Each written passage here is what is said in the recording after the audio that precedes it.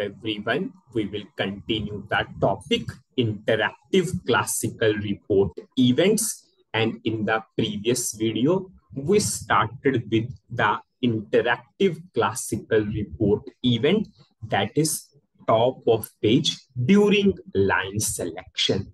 The purpose of this event is to give the header or title on a page of secondary list if I want to give the header or title on a page of basic list, then top of page event.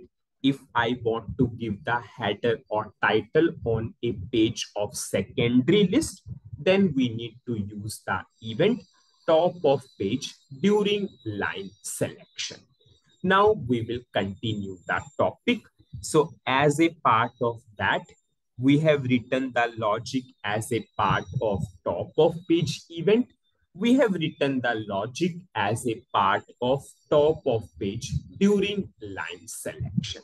Now what I will do, I will put the breakpoints and we will understand the full flow in the debugging mode. So what I will do, I'll put a breakpoint in start of selection I will put a breakpoint in at line selection. I will put a breakpoint in top of page. I will put a breakpoint in top of page during line selection. I'm running the program. I'm giving the input. Whenever I will click on to the execute button, we all know firstly start of selection event will trigger. I'm clicking on to execute button. And you can see currently which event is triggering start of selection. This logic is the part of start of selection. Now, based upon the input, our input is on the right hand side. We are fetching data from header table for how many column? These four column and data will come into this internal table. If you see, this internal table has zero records as of now. Once I will execute this query, data will come into this internal table. I'm doing F6 because F6 is line by line execution. Now you can see we have five records in the first internal table. We have five records in the first internal table. Now this loop will continue how many times? Five times it will continue. Now I'm going for the loop. Now what is tabix 1? What is tabix 1? Now we have the first right statement, first right statement. What at what time top of page event will trigger? When we have the first right statement on a page and as of now, we have basic list. Yes, we have not done the interaction as of now. We have the first write statement on a page of basic list because firstly basic list will come.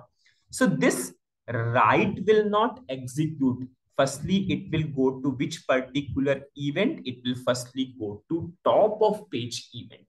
Now, if I will do F6, you can see it went to top of page event. And what is the title? What is the title we gave? Header details. So it will give header details. Now it will go to these write statement one by one. And yes, header should be first. Then after that details should display. Now it will write the first record. Have you seen? It is still, it is writing the first record down. Site tab is one Previously, it has not written the record. It just checked. Yes, we have the first write statement. So it went to top of page. Now it will write the first record. Now it will write the second record. Currently, this basic list is going on. So we have the third record, site x is 3. We have the fourth record, and now we have the fifth record, and now we have the out. So we have this, this header details is coming by which event top of page. top of page event triggered for the first write statement on a page and we have only basic list as of now. As of now, basic list. Now, suppose I'm double clicking now. Suppose I'm double clicking onto third record. Whenever I will double click, you all know which event will trigger at line selection. At line selection triggered in three action.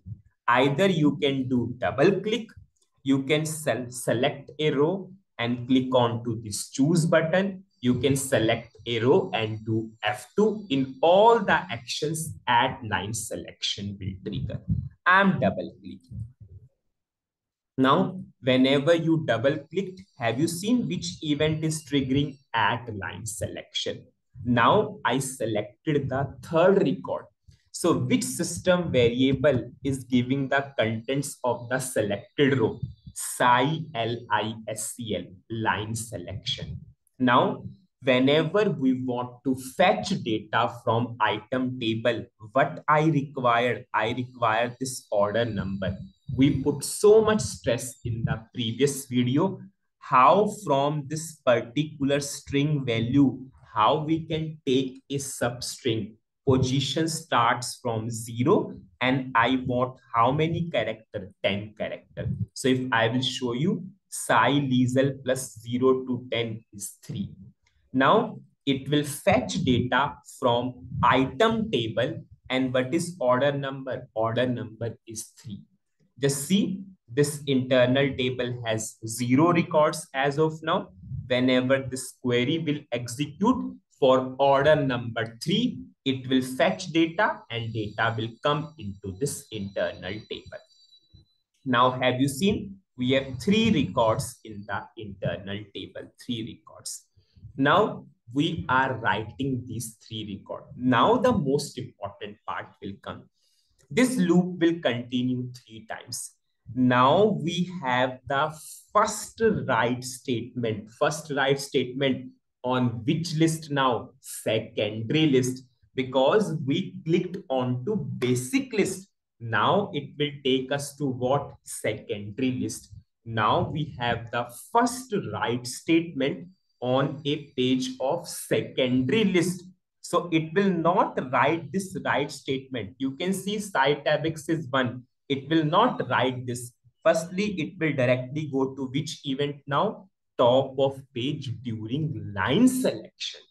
Now you can see we are directly on to the event top of page during line selection because we have the secondary list and this sy-lisel plus 0 to 10 is what 3 so but the title it will give item details and item details for which order number 3 order number it will give that title now it is coming on to the right statement Yes, it is going for first record. Now it is going for second record. Now it is going for third record.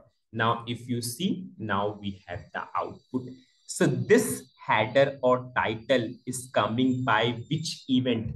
Top of page during line selection. This is your secondary list and this is your basic list, basic list important topic and yes customer always ask for different title because it should be customer understanding also yes that this is first time list and this is second time list so what is the summary of the video in this video we fully understood the top of page event top of page during line selection event in the debugging mode that how it is giving the header or title on a page of secondary list. So that's it in this particular video. Thank you.